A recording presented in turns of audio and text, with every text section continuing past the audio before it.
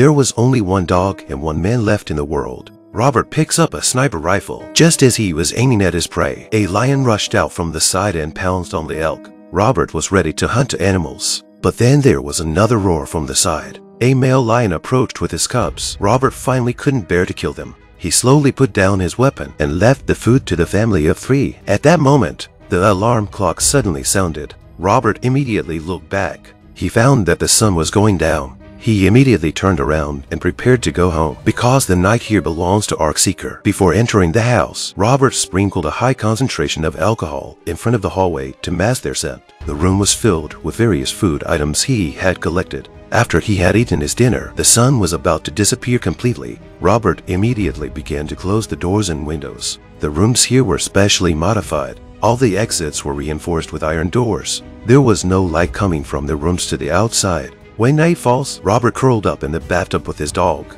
even sleeping with a weapon in his hand. Now they can't make any noise because the Ark Seekers have begun to feed in the dark. Listening to the hissing sounds from outside, Robert's mind went back three years. In order to cure terminal diseases such as cancer, scientists had developed a special virus. However, the virus mutated out of control as it evolved. In the end, 90% of the people on Earth died quickly, and the remaining 10% of the human race was overwhelmingly infected with the virus. They mutated into Ark Seekers, who only knew how to eat people. Ark Seekers are not only fast, but also very powerful. Fortunately, their weakness is their fear of sunlight, so Ark Seeker can only operate at night. It is now three years after the outbreak of the virus. New York has become an empty city. Robert is the only human left in the city, and this dog is his only companion. Robert is a former military scientist. For three years, He's been working on antibodies to the virus. He hopes to restore Arkseeker to a human being. He also uses the radio every day to find other survivors and agreed on a meeting place at the pier.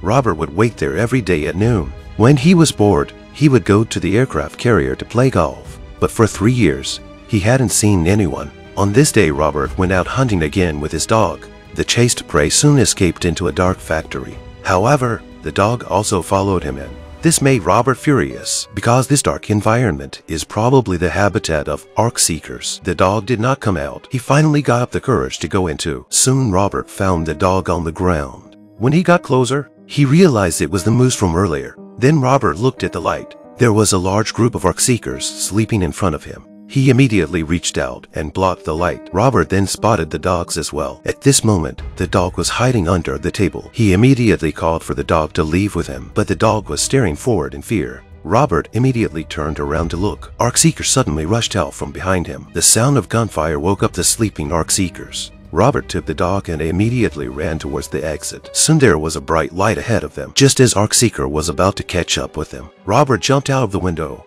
the Ark Seeker behind him also fell down with him. The time outside was exactly noon. The Ark Seeker died quickly in the sunlight. Robert looked at the Ark Seeker's lair again. His experiment had reached a critical point. He was now short of an Ark Seeker to conduct live experiments. Robert sets a trap at the door. He used his own blood as bait. With the trap successfully triggered, Robert was able to capture an Ark Seeker. But just as he was about to leave, another Ark Seeker suddenly rushed to the door. He hissed at Robert despite the sunlight burning his body, but Robert didn't think much of it. He quickly took Arkseeker back to the lab. The Arkseeker he caught this time was a female. After Robert injected her with the antivirus serum, Arkseeker's heart rate soon began to drop. Her body temperature was slowly returning to normal. Just as Arkseeker was beginning to regain her human characteristics, her body suddenly began to twitch violently. She then let out a hiss of pain. Her heart soon stopped beating Robert saw this and injected her with the virus. Now she reverted to her Arc Seeker form. This was Robert's 391st experiment.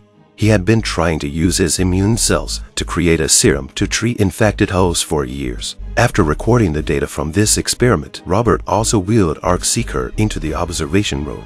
He then took the dog out for a drive. But at that moment, he noticed a man under the building. Robert immediately grabbed his weapon and got out of the car.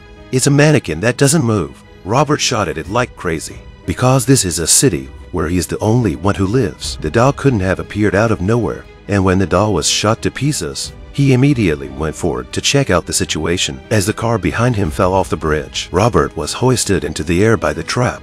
His head was slowly bleeding from the impact. Soon Robert passed out. When he woke up again, the dog was barking below him. The alarm clock on his watch had gone off. Robert immediately looked towards the sky. The sun was about to set. Robert immediately took out his dagger and cut the rope. But when he landed, the dagger accidentally stabbed him in the thigh. Robert immediately shouted in pain, but he didn't have time to treat the wound now. He dragged his injured leg to the car under the dog's comfort, but then the dog suddenly looked into the distance. As the sun went down, the last Ark Seeker also reappeared. It directly released three vicious dogs to pounce on this side. Fortunately, the sunlight temporarily blocked them. Robert immediately accelerated his speed to escape, but the last ray of sunlight soon disappeared. The vicious dogs instantly rushed towards Robert. At this critical moment, his dog rushed towards them to protect Robert. The reactive Robert also immediately took out his pistol and shot, although he succeeded in killing one vicious dog. But the last one was coming towards him. Robert was in danger.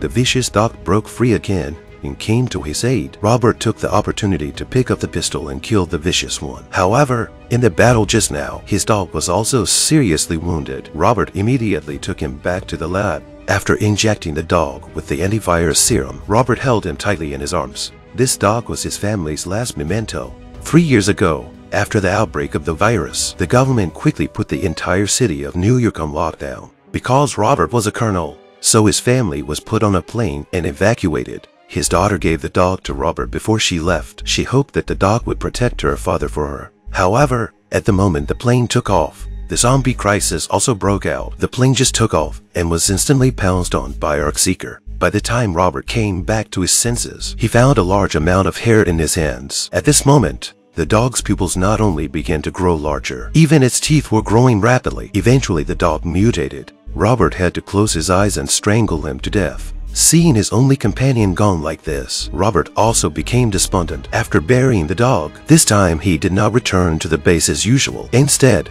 he went to the pier and set up a trap. When it was dark, the Ark Seekers were indeed attracted to this place. Just as they were running towards the bait, Robert came out from behind in his car. He was now out to avenge the death of his dog. Ark Seekers soon died of their injuries after his impact. However, the Ark Seeker King soon rushed up. The Ark Seekers, organized by him, seemed to have intelligence. They first climbed up the street lamp and pulled him down before slamming him hard into the car. Robert tried to start the car at this point, but under the command of Ark Seeker King. A large number of Ark Seekers had already rushed over quickly. After their fierce attack, the car was knocked out of the way by the time Robert reacted, Ark Seeker King had already arrived at the car window. Just as it was about to bite Robert to death, a bright light suddenly shone through. By the time Robert woke up again, he had already returned to his base. It turned out that a mother and son had saved him. Anna received a broadcast through the radio, so she also happened to save Robert. Next, she had to take her son Ethan to Camp Doom. There are supposedly a lot of survivors there, but Robert was not hopeful. Although 1% of the human population had developed antibodies during the outbreak, but they had been hunted and killed by Ark Seekers. Robert suddenly heard the Ark Seekers roar. It was dawn when they returned yesterday, and Robert's wounds were bleeding all the time. Now the Ark Seekers have tracked him here. A group of Ark Seekers were coming towards the base quickly. Robert immediately flicked the light switch. The area around the house was instantly lit up like daylight. The intense light could do damage to the Ark Seekers. But with the Ark Seekers attacking one after another, the flashing lights were soon all extinguished. Ark Seekers attacked again, so Robert detonated the bomb he had bought in advance. By the time the violent explosion had passed, Ark Seekers outside were already dead and wounded. Then Robert went upstairs to look for Anna, but a window on the second floor was also shattered by the explosion. He was immediately attacked by King of Ark Seeker. Under the powerful attack of his opponent, Robert was thrown out of the room. King of Ark Seeker wanted to continue his attack, but Robert landed right next to the weapon. He grabbed a machine gun and started firing wildly. King of Ark Seeker had to hide for a while. Robert saw that the enemy was hiding in the kitchen. He shot the gas cans directly. This forced King of Ark Seeker to jump out. Then, with him in pursuit, King of Ark Seeker had to escape from the window again. But now the crisis wasn't over. Back outside, King of Ark Seeker immediately roared and summoned all his followers. A large number of Ark Seekers were already rushing forward. They were agile and powerful, since all the entrances had been closed by iron gates, Ark Seekers climbed up the walls. They then overwhelmed the roof. Ark Seekers started to search around the room. Meanwhile, Robert and Anna had taken refuge in the lab. Here, they also found a surprising scene. The female Ark Seeker who had been injected with the serum had now regained some of her human characteristics. Just as Robert was about to continue his search, Arc Seekers had also found the place by now. They start banging frantically on the bulletproof glass. Robert shouted that he had found a cure that would make Arcseeker human again. At that moment, King of Arcseeker also rushed in. He knocked down the useless followers and started to hit the glass himself. The bulletproof glass gradually began to crack under the force of his impact. The look in his eyes was full of murderous anger towards Robert. Robert could not communicate with the king of Arcseeker, so he began to extract the blood of the female Arcseeker because it contained the antidote to the virus. Then he sent Anna into the escape tunnel and handed Anna the serum as well, and he chose to stay behind to deal with everything. Before he died, Robert took out a picture of his family. Now he had done his job. He then decisively pulled the bomb bracelet. Just as the king of Arcseeker rushed up, he didn't hesitate to jump on him. Anna led Ethan to the survivor camp and the serum that Robert exchanged his life for became the last hope for mankind. The movie actually has another ending. Robert did not die with the King of Arcseeker. He chose to take the initiative to return the female Arcseeker, and the King of Arcseeker finally let them go. When they left the next day, Robert also said to Anna, judging from the trap Arcseeker set for him earlier, it has evolved its intelligence, and the King of Arcseeker has rescued the